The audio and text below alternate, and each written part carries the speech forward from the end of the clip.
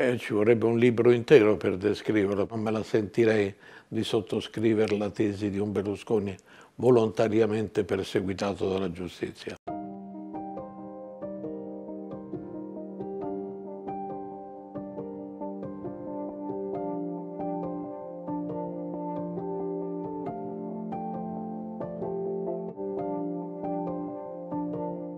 Parliamo di parecchi anni fa, l'incontro fu eh, provocato dall'avvocato Ghedini, che a quell'epoca coordinava le difese del presidente Berlusconi. L'avvocato Ghedini mi aveva chiesto di intervenire in un processo in grado d'appello, era un processo che si era concluso negativamente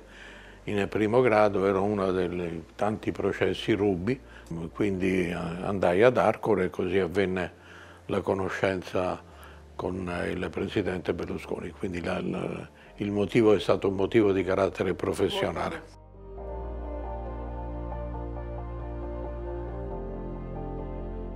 Berlusconi aveva ehm, nei confronti direi degli avvocati che lo assistevano in quel periodo, tra cui anche chi vi parla, aveva fiducia e quindi non era un cliente ansioso, non era un cliente assillante, naturalmente eh,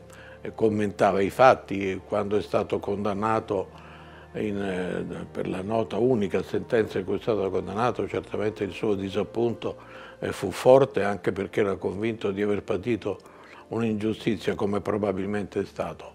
Eh, però direi il rapporto professionale è perfetto proprio perché ti lasciava fare.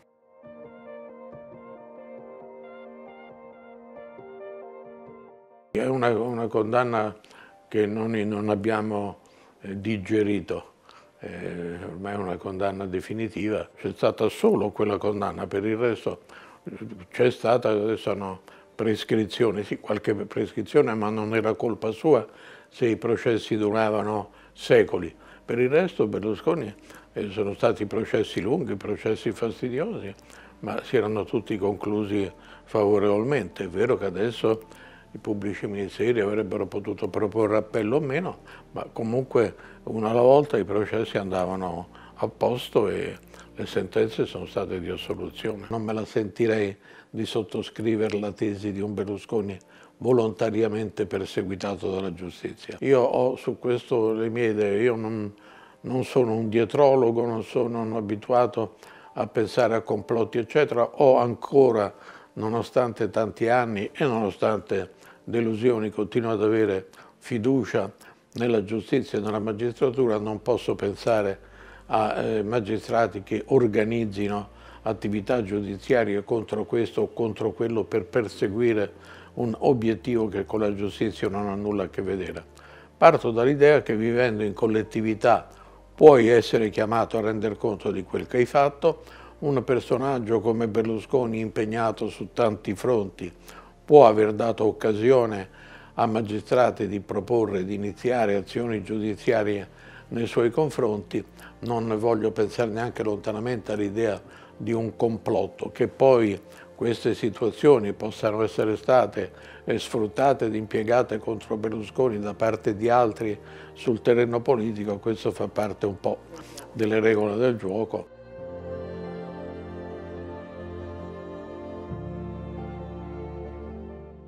Mi ha telefonato una persona che era molto vicina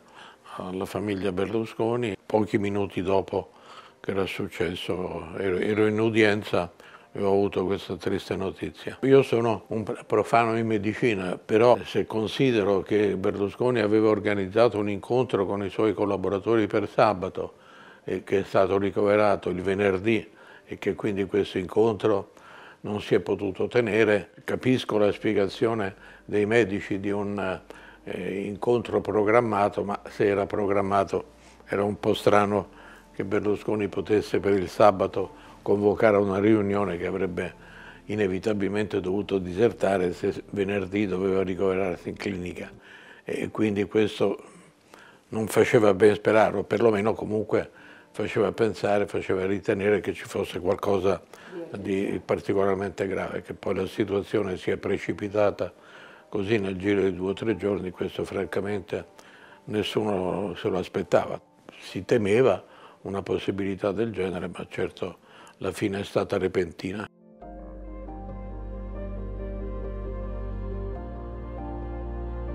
Comunque lo si voglia giudicare, certamente è un uomo che ha attraversato la storia del nostro paese da protagonista per oltre 30 anni. E ci vorrebbe un libro intero per descriverlo, una personalità ricca di tante sfaccettature e quindi ognuna avrebbe meritato un approfondimento o un commento. Certamente sul piano dei rapporti personali un uomo molto piacevole, dotato di grande senso dell'ospitalità, di grande eh, generosità, quindi sotto questo punto di vista gli incontri, anche se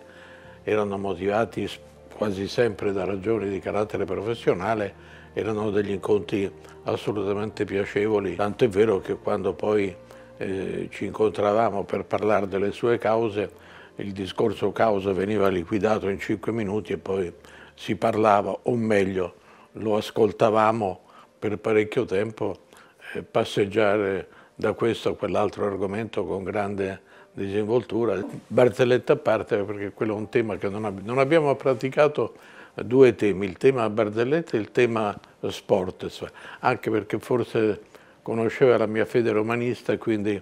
mh, non ci saremmo facilmente incontrati su quel terreno e quindi lo abbiamo sempre evitato. Aveva anche scoperto che avevo un debole per le cravatte e quindi alla fine la visita quasi sempre si concludeva con il regalo di una scatola di cravatte, me la faceva arrivare lì così le guardavamo insieme, le commentavamo insieme, sempre molto belle. Ne avevo già tante di mie e beh, lui ha certamente contribuito con la disperazione di mia moglie ad accrescere il numero delle cravatte negli armadi.